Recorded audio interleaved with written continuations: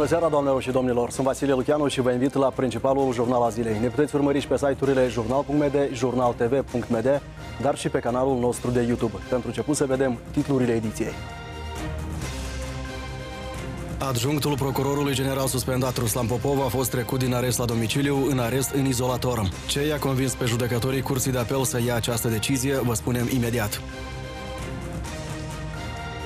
Blocul comuniștilor și socialiștilor a rămas fără lideri. Vladimir Voronin și Igor Dodon au părăsit astăzi aproape concomitent Republica Moldova prin aeroport. Dodon a anunțat că pleacă pentru o perioadă nedeterminată.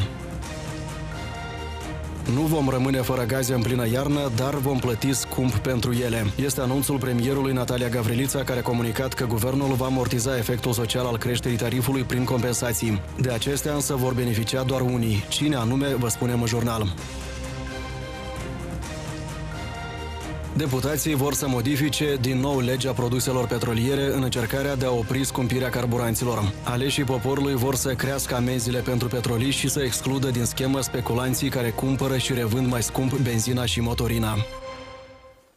Adjunctul procurorului general suspendat Ruslan Popov, cercetat pentru îmbogățire ilicită, va sta 20 de zile în izolator.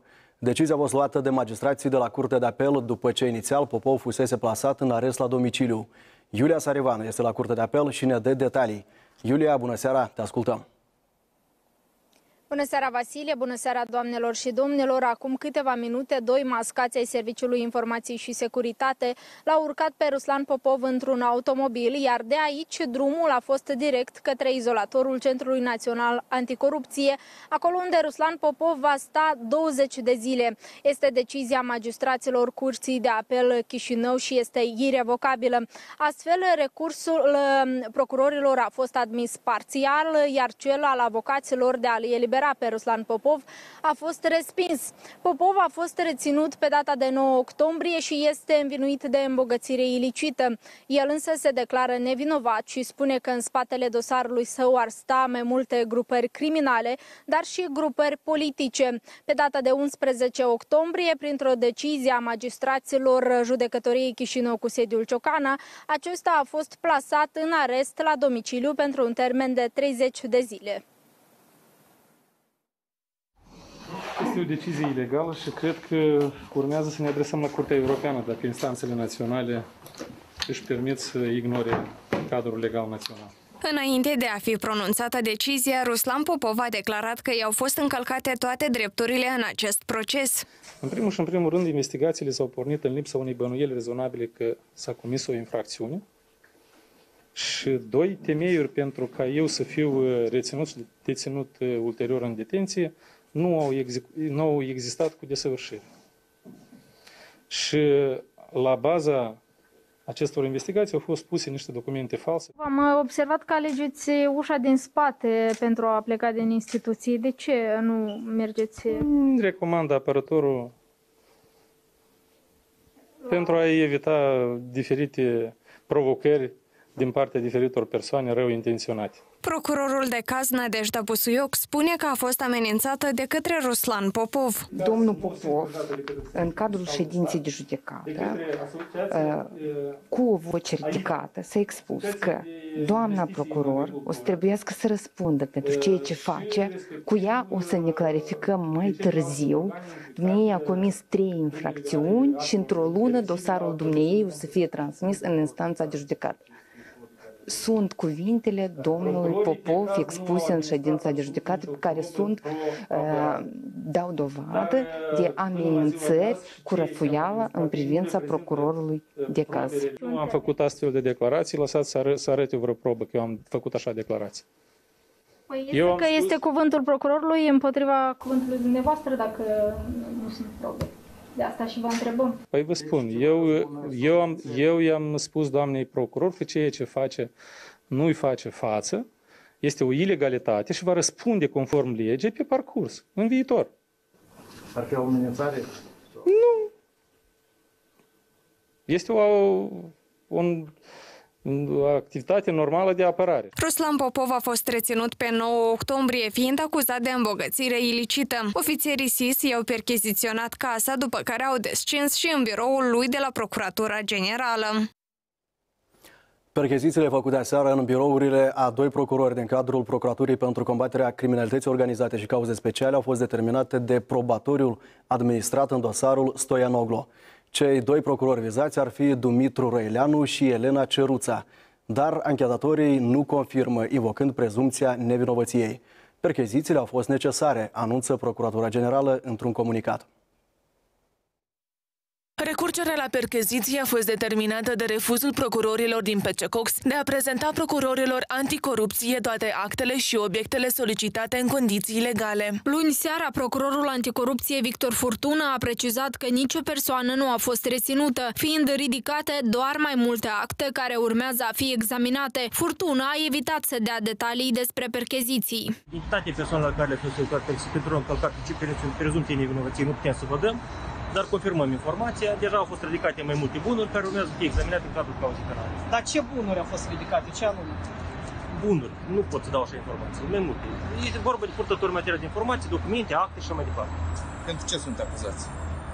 Încă o dată, nu pot să vă dau nicio informație în ce privește că identitatea persoanelor, deoarece la momentul actual avem niște principii și pentru un calcat dreptul părții apărării. Procurorul Dumitru Răileanu nu răspunde de multă vreme la apelurile și mesajele noastre, dar a făcut declarații pentru ziarul de gardă. Potrivit lui Răileanu, percheziționarea biroului său s-a făcut în cadrul dosarului Stoianoglo, în partea ce ține de examinarea procedurii de revizuire a dosarului din România, în care este vizat Vladimir Plahotniuc. Cel de-al doilea procuror pe Cecox vizat ar fi Elena Ceruța, care a instrumentat dosarul lui Veceslav Platun și a retras toate capetele de acuzare pe numele acestuia în dosarul fraudei bancare. Elena Ceruța este până acum inabordabilă. Telefonul ei este deconectat. Procurorul general suspendat Alexandru Stoianoglu se află în arest la domiciliu pentru 30 de zile, printr-o decizie a instanței adoptată pe 8 octombrie. Minus o pârghie de tergiversare a dosarului Șor. Deoarece avocații inculpatului au lipsit de la ședința de astăzi de la Curtea de Apel, instanța i-a sancționat și a dispus repartizarea unui avocat din oficiu, care îl va reprezenta pe Șor dacă apărătorii vor mai lipsi de la audieri. Fugarul Ilan Șor a fost condamnat de prima instanță la șapte ani și șase luni de pușcărie pentru escrocherie și spălare de bani. Procurorii consideră că neprezentarea avocaților la ședința de judecată preconizată pentru astăzi la Curtea de Apel Chișinău are scopul de a tergiversa examinarea cauzei. Prin urmare, instanța a dispus amendarea apărătorilor lui Șor. Deci, pentru neprezentarea inculpat, ă, avocaților în ă, instanță, măcar unul din cei trei să fi fost prezent. Deci, acuzarea solicită să fie aplicată amenda judiciară. Eu consider că acesta este un temei care tergiversează examinarea cauzei. Astfel, magistrații au amendat avocații cu câte o mie de lei. Mai mult, instanța a dispus repartizarea cauzei unui avocat din oficiu care îl va reprezenta pe Ilan Șor, începând cu următoarea ședință, dacă apărătorii angajați de inculpat nu se vor prezenta. De când dosarul lui Ilan Șor a fost strămutat de la Curtea de Apel Cahul la Curtea de Apel Chișinău, aceasta este cea de-a patra ședință de judecată care se amână. Ilan Șor este anunțat în căutare internațională după ce a fugit din Republica Moldova în iunie 2019, concomitent cu Vladimir Plahotniuc, după ce democrații au pierdut puterea.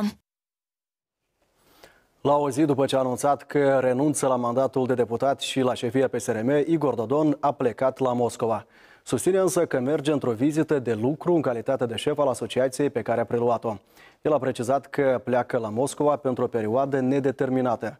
Întâmplător sau nu, aproximativ în același interval la aeroport l-am surprins astăzi și pe comunistul Vladimir Voronin. Sursele Jurnal TV susțin că acesta din urmă ar fi plecat la sanatoriu. Primul la aeroport și-a făcut apariția Vladimir Voronin. Domnule Voronin, bună ziua! Bună ziua! De unde plecați? Voronin a ajuns la aeroport cu un Mercedes care aparține guvernului. Acesta era împreună cu soția sa și a ignorat echipa noastră de filmare. Sursele Jurnal TV susțin că liderul PCRM a plecat la sanatoriu. Tradițional, în trecut, acesta mergea la stațiunea balneară Karlov Vare din Cehia. Se presupune că acolo a mers și de data aceasta. În timp ce Voronin se afla deja în incinta aeroportului, în preajma sălii delegațiilor oficiale, după clădire, s-a apropiat un alt automobil. Am încercat să ne apropiem, dar agenții de pază au ținut departe echipa noastră de filmare. Dar ne permiți, vă rog, să trecem aici, nu, măcar nu vă de, permis, măcar trecem, de e zonă securizată Dar și stăm nu, afară, nu, nu mergem înăuntru. Dar nu se permite pe teritoriul ăsta.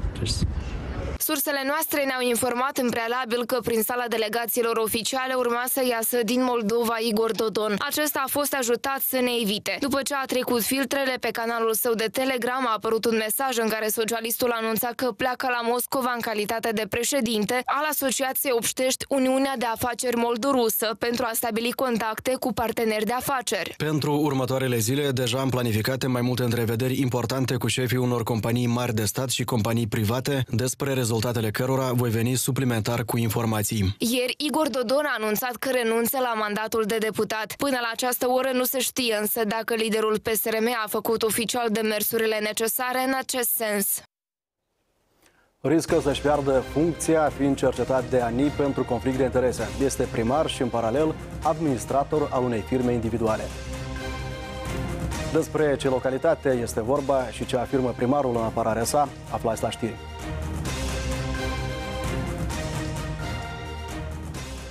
Introducerea unui moratoriu asupra construcției de noi benzinării și interzicerea revânzării carburanților angro. Sunt doar câteva dintre amendamentele discutate astăzi la Comisia Economie, Buget și Finanțe a Parlamentului la legea privind piața produselor petroliere.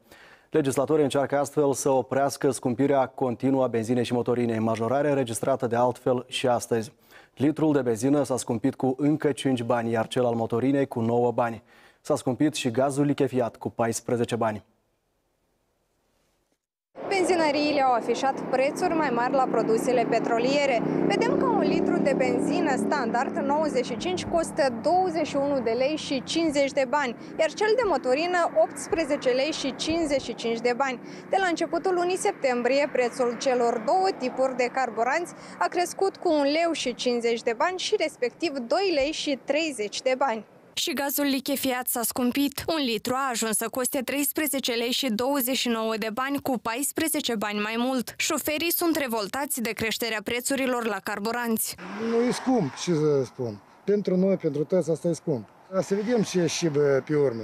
Și e friguri, la oameni și foarte rău. Nu uit pe buzunarul meu, nu numai al meu, tot narodul din Moldova, tot populația. Mulți oameni le se restrânge, adică posibilitatea de, de a supraviețui. Benzina, carburanții se răsfrâng asupra prețului la toate produsele. Prețurile par destul de exagerate, dar ținând cont de situația din țară, ce pot să mai cresc?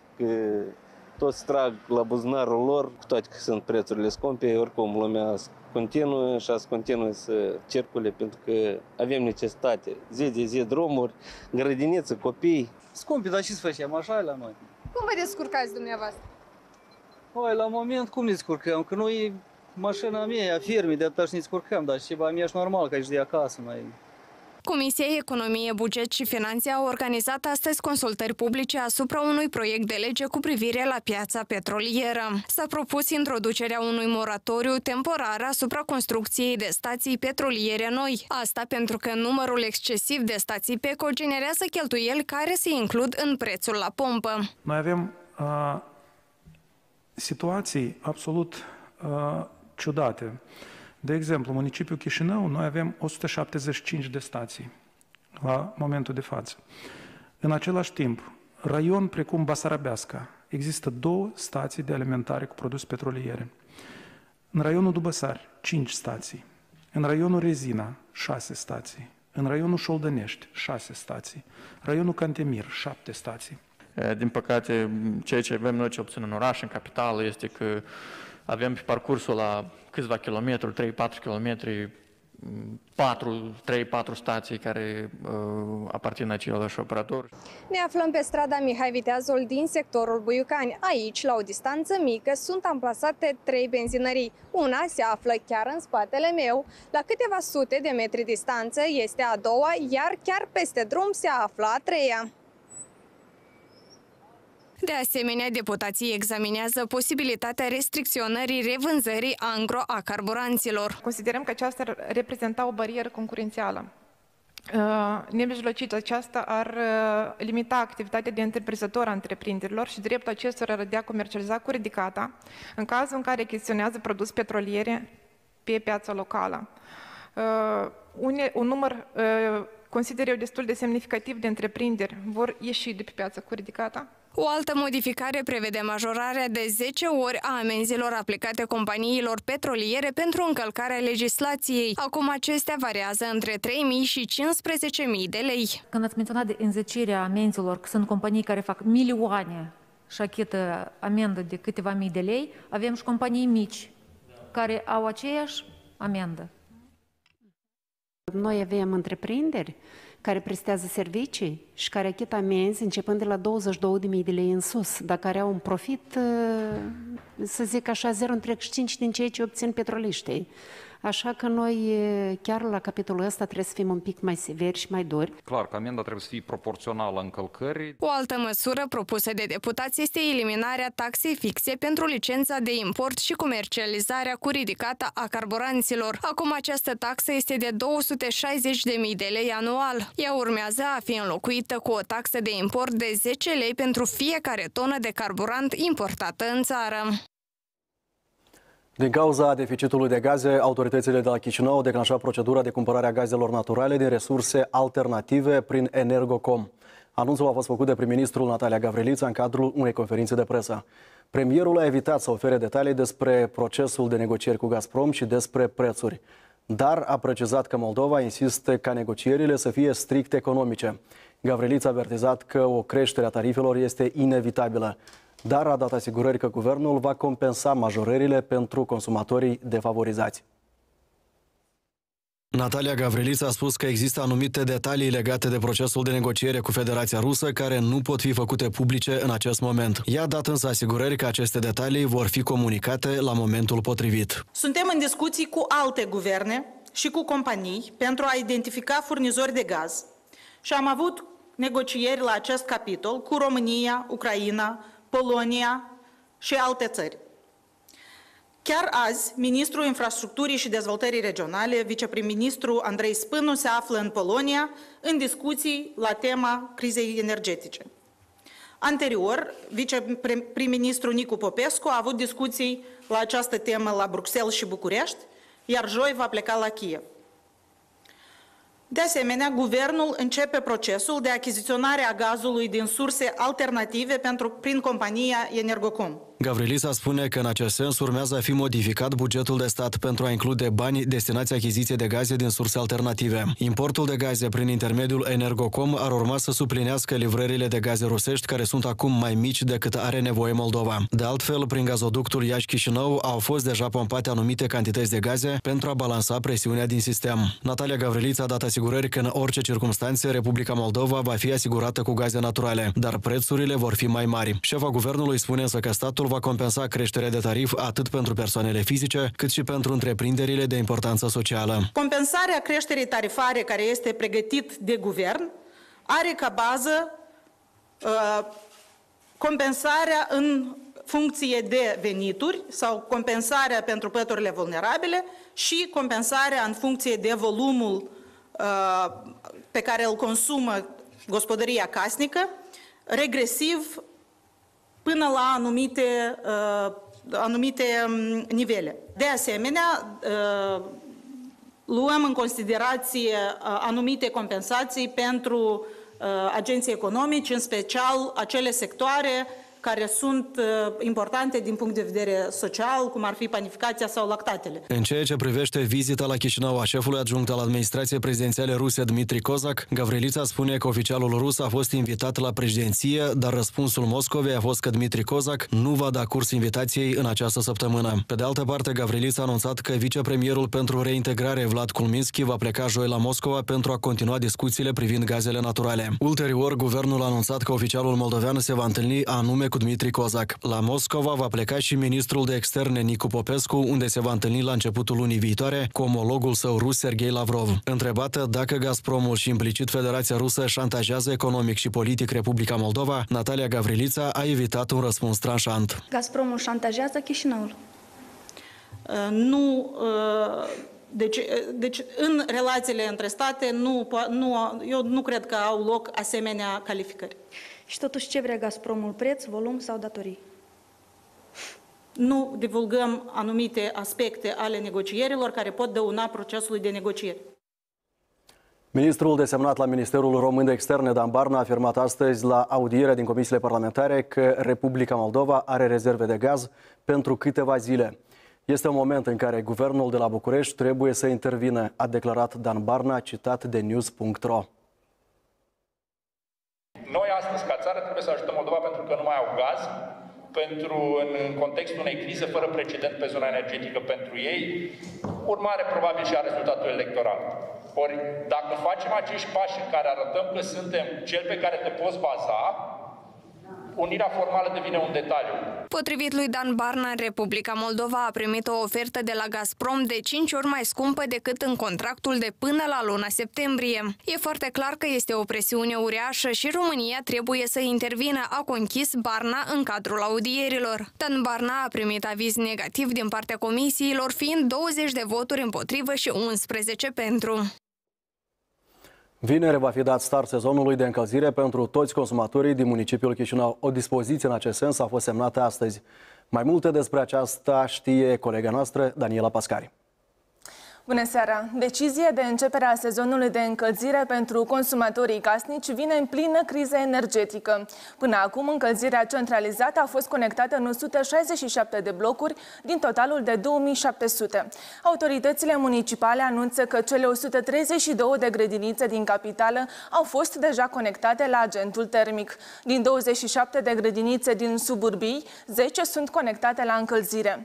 Potrivit responsabililor, agentul termic este livrat și în 53 de școli, urmând să fie conectate și celelalte la solicitare directorilor în funcție de temperaturile din interiorul fiecărei școli. În ceea ce privește instituțiile medicale din Chișinău, până acum au fost conectate la sistemul de încălzire centralizat 22 de instituții din 64. Anul trecut, sezonul de încălzire în Chișinău a început pe 30 octombrie. Atât la acest subiect. Daniela, îți mulțumim pentru informații. A închiriat automobil de serviciu de la propria firmă. Este vorba despre primarul orașului Rezina, Simion Tatarov. Acesta riscă acum să își piardă funcția, fiind cercetat de ANI pentru conflict de interese. Primarul vizat susține că mașina a fost închiriată pentru doi specialiști din primărie și a fost utilizat eh, firma sa pentru a nu admite cheltuieli suplimentare din bugetul instituției. Simion Tatarov se află la al doilea mandat de primar. Acesta deține în paralel funcția de fondator și administrator al unei firme individuale. În ianuarie 2020, firma lui Tatarov a semnat cu primăria orașului Rezina, reprezentată de viceprimarul orașului, un contract de comodat prin care a dat închiriei primăriei un automobil Toyota Land Cruiser. Deși în contract la reprezentantul primăriei era indicat numele primarului, atât contractul cât și actul de primire-predare, întocmite în aceeași zi, au fost semnate de către viceprimar primar. Mai mult, din materialele de control ale inspecției financiare rezultă că în iulie 2015 primarul a delegat fiicei sale împuternicirile de pline în cadrul firmei până la expirarea mandatului său de primar. Consiliul Orășenesc Răzine a stabilit inclusiv depășirea parcursului limită de către automobilul închiriat. Respectiv, în perioada 2016-2018, la procurarea motorinei au fost decontați în plus peste 15.000 de lei. S-a mai constatat că la semnarea acestor acte cu primării primăria, din partea firmei respective, a participat o altă persoană care nu avea împuterniciri legale pentru a încheia asemenea acte juridice, fiind implicată doar pentru a evita un conflict de interese. În cadrul controlului, primarul a invocat că automobilul a fost închiriat pentru doi specialiști din primărie și a utilizat autovehiculul din firma sa pentru a nu admite cheltuieli suplimentare din bugetul instituției. De asemenea, Tatarov a menționat că în perioada vizată a asigurat și funcția de șofer al primăriei și nu au fost percepute anumite plăți pentru aceste acțiuni. În ceea ce privește semnarea contractului de către viceprimar cu numele său, acesta a declarat că viceprimarul este responsabil de activitățile ce vizează gospodărie primăriei. Dacă actul emis de ani va rămâne definitiv, primarul riscă să rămână fără mandat și să nu mai poată accede în funcții publice timp de trei ani. Au fost alocate sute de mii de lei. Ulterior, primarul trebuia să anunțe achiziția materialelor, dar acest lucru nu s-a întâmplat nici până în ziua de astăzi. Noi am auzit că s-a adus, s-a adunat bani și au fost lege că să ne facă drumul aici, lasă ne facă, dar să nu ne amajească pe noi. Când au început problemele la Cimișlia și ce spune primarul orașului, aflați la știri. Anatolie Falca a câștigat concursul pentru funcția de șef al Administrației Naționale a Penitenciarelor. Urmează formalitățile obligatorii pentru a prelua instituția, nedeclarat Anatolie Falca. Asta seara m-a telefonat de la Ministerul Justiției, Serviciul Resurse Umane și m-au informat că eu sunt câștigător concursul la funcția de director al Administrației Naționale a Penitenciarelor. De mâine sunt invitat pentru a lua îndreptare la Comisia Medicală. Anatolie Falca activează peste 20 de ani în sistem, ocupând diferite funcții, de la comandant companie de pază până la director adjunct al Departamentului Instituțiilor Penitenciare. Proba interviului pentru ocuparea funcției de șef al instituției a avut loc săptămâna trecută cu ușile închise. Ministerul Justiției a anunțat concursul pe 7 septembrie, după ce fostul director al departamentului, Dorin Lișman, a demisionat. Cercetat penal pentru abuz în serviciu în interesul unui grup criminal specializat în sustragerea banilor de pe carduri bancare și având interdicție de a părăsi țara, Serghei Demceco a demisionat din funcția de șef adjunct al Administrației Naționale a Penitenciarelor. Informația a fost confirmată pentru Jurnal TV de purtătorul de cuvânt al Ministerului Justiției. La 24 septembrie curent, Demcenco a fost achitat în dosarul în care era învinuit de păstrarea ilegală a munițiilor și păstrarea neglijentă a armelor de foc și a munițiilor. În februarie curent, el a fost reținut într-un alt dosar, fiind învinuit de abuz de serviciu, în interesul unui grup criminal specializat în sustragerea banilor de pe carduri bancare. Potrivit anchetei, pe parcursul anului 2020, suspecții au sustras aproape 800 de mii de lei. O parte din bani era îndreptată spre dezvoltarea și menținerea grupului criminal. Potrivit legii, astfel de infracțiuni se pedepsesc cu până la 8 ani de închisoare. Anterior, Jurnal TV a difuzat mai multe mărturii ale foștilor angajați ai Administrației Naționale a Penitenciarelor, vizând diverse ilegalități pe care le-ar fi admis Demcenco în pușcării. Unii deținuți duceau un trai luxos după gratii cu băuturi spiritoase și alte privilegii. Despre toate acestea ar fi știut și Demcenco, dar nu intervenea. Jurnal TV a publicat mai multe imagini în care gardienii erau bătuți de către deținuți. Serghei Demcenco are interdicție de a părăsi Republica Moldova, ne-a spus avocatul său Ruslan Dodică, cel care anterior spunea că clientul său pledează nevinovat. În Republica Moldova, peste 70% dintre femei au suferit pe parcursul vieții cel puțin o formă de violență. Situația s-a agravat odată cu declanșarea pandemiei de coronavirus, afirmă experții. Potrivit acestora, ratificarea Convenției de la Istanbul privind combaterea violenței este un pas important, însă mai e mult de lucru.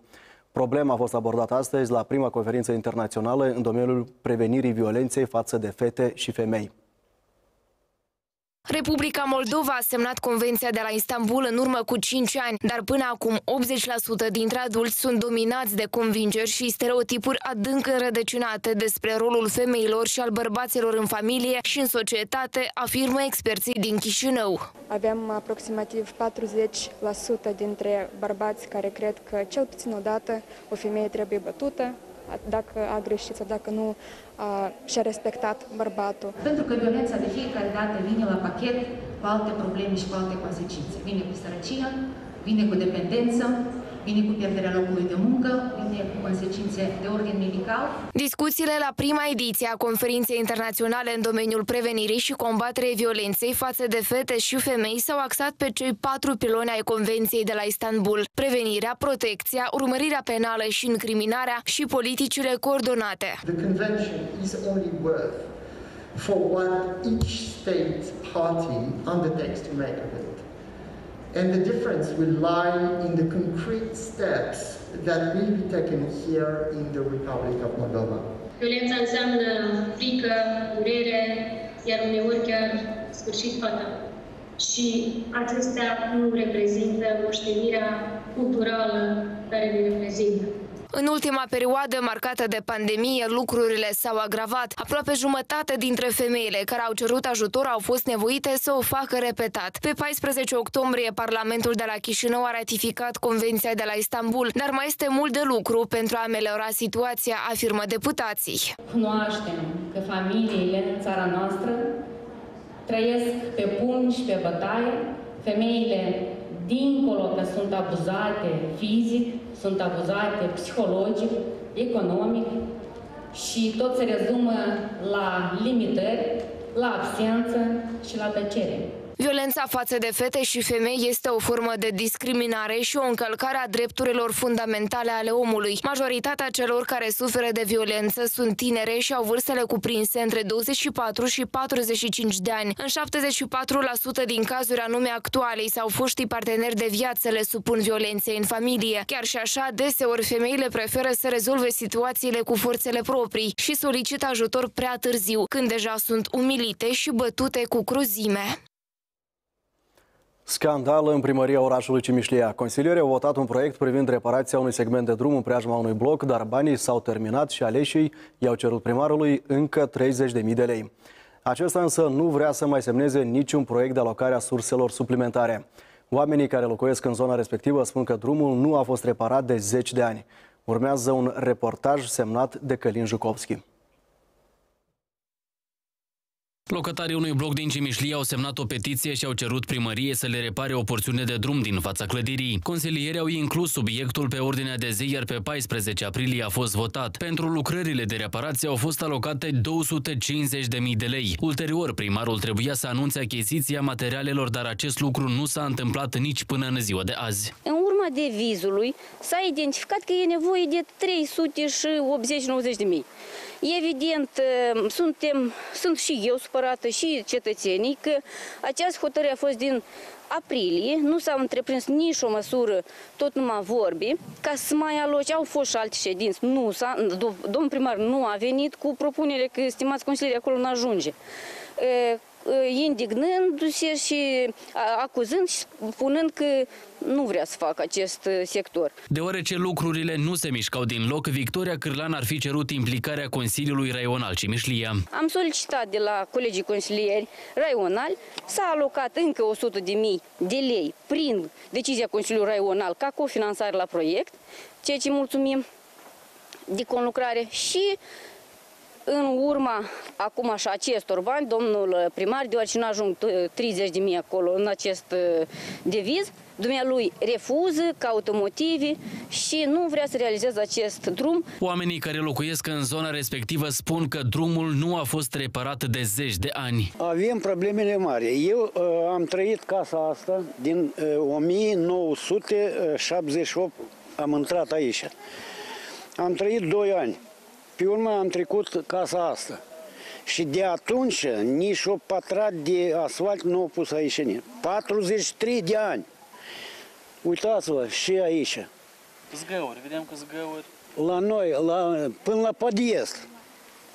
И проблемы страшные, особенно когда дожди, слякоть, снег, невозможно выйти. По бордюрам ходим по бордюрам, или в резиновых сапожках, или в галошах. Eu vreau ca când să merg pe drum, să nu ca pe borțile este, acum să zici, pe gropi. Dar când merge apa, am o condensoarele este, tot glodul se duce în, în o gradă, tot în, cum să zice, în, înăuntru. înăuntru. Noi vrem, noi am auzit că s-a, adus, s-a adunat bani și au fost lege că să ne facă drumul aici, lasă ne facă, dar să nu ne amăjească ei pe noi. Nu-i frumos cum face el și să cum se comportă el cu oamenii. Nu face nimic. Eu l-am ales între cei el ca să fac ceva pentru orașul că El a fost la serviciile publice. Eu tot vreau ca să fac o leacă drumul ăsta. Că nu e cine știe câte 100 de metri pătrați, eu n-am împotriva asta. Dar noi trebuie să ne alegi ca să-l facem și pe o viață. Locatarii au mers la primărie, dar discuția cu primarul nu a fost una tocmai productivă. Într-adevăr, este abuz de putere. Până la urmă, dumnealui este o autoritate executivă. Nu dumnealui decide și eu cred că achiziția asta trebuia fi pornită încă din aprilie. Plus asta, într-adevăr, eu cred că vecinii să confirme modul în care s-au comportat ieri cu cetățenii, ridicând vocea, indignând pe cineva, eu cred că nu e modul în care să vor, trebuie să discute un demnitar public. În replică, primarul Sergiu Andronache afirmă că nu a fost niciodată împotriva acestui proiect. Nu am fost niciodată împotriva acestui drum să-l construim atâta timp cât uh, Consiliul a alocat uh, suma, necesar, uh, suma financiară pentru construcția drumului Întotdeauna am susținut această idee și sunt obligat să fac ceva doar când atunci când este o acoperire a cheltuielilor integru pe acest, pe acest deviz. Și atât noi acum, până se semnează procesul verbal, se pregătește de către secretara Consiliului, în 5 zile până va fi elaborat, ulterior noi o să lansăm procedura de achiziții publice, Edilul orașului Sergiu Andronachi este de părerea că unele persoane îl atacă intenționat și încearcă să-i denigreze imaginea. Produsul intern brut a registrat în prima jumătate a acestui an o creștere de 11,7% față de perioada similară a anului trecut, când economia a fost puternic afectată de restricțiile anticovid. Creșterea din acest an a depășit și indicatorii economici din 2019, când Moldova încă nu fusese lovită de pandemie. Calculele au fost făcute de Institutul Național de Cercetări Economice în cadrul lansării publicației Tendințe în economia Moldovei. Producția industrială a crescut în primul semestru cu 13,1% față de perioada similară a anului trecut, iar volumul mărfurilor transportate s-a majorat cu 8% față de anul precedent. Totodată, recuperarea activității economice în contextul relaxării restricțiilor, dar și creșterea prețurilor la produsele alimentare și nealimentare pe piața mondială au generat creșterea inflației. Per total, PIB-ul ar urma să crească în acest an cu 9,2%. Un tânăr de 21 de ani din Bălți riscă până la 7 ani de pușcărie pentru șantaj. Individul ar fi constrâns pe un bărbat să-și răscumpere libertatea. Bănuitul a fost reținut în timp ce primea prima tranșă de 2000 de lei transmisă de către sora victimei. Potrivit poliției, o femeie de 46 de ani din Bălți s-a plâns că i s-a cerut să plătească 3500 de lei, care ar fi fost o datorie nestinsă a fratelui ei. Femeia a povestit că fratele ei, în vârstă de 27 de ani, a fost urcat cu forța într-o mașină Toyota pe o stradă din municipiul Bălți. Fiind amenințat cu un obiect ascuțit, tânărul a fost obligat să sune la rude și să ceară bani pentru a-și obține libertatea. Suspectul a fost identificat și plasat în arest la domiciliu pentru un termen de 30 de zile. Poliția a inițiat o cauză penală pentru privațiune ilegală de libertate. Letonia, una dintre țările cu cel mai scăzut număr de persoane vaccinate anticovid-19 din Uniunea Europeană, a anunțat un lockdown în perioada 21 octombrie-15 noiembrie pentru a încerca să încetinească creșterea ritmului infectării transmite AFP. Magazinele, restaurantele, școlile și instituțiile de divertisment vor fi închise. Labvakar! Mūsu valsts šobrīd ir patiesi grūtā situācijā.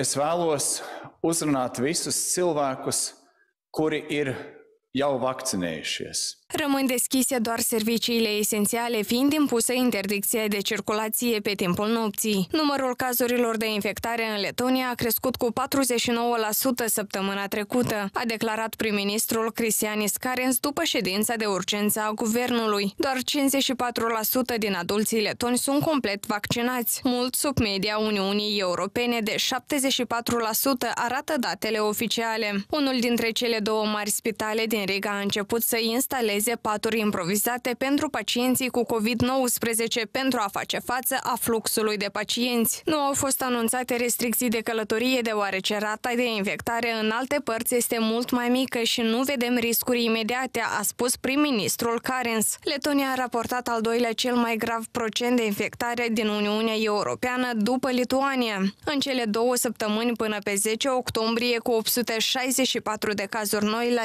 10.000 de persoane. Doamnelor și domnilor, acesta a fost principalul jurnal al zilei. Urmează rubricile Sport și Meteo, iar de la ora 20 urmăriți talk show-ul Trigger. Nu uitați, dacă ați fost martorii unui eveniment care poate deveni o știre, scrieți-ne la adresa de e-mail contact.jurnaltv.md sau pe pagina noastră de Facebook. Ne revedem la Jurnal de Noapte. Pe curând!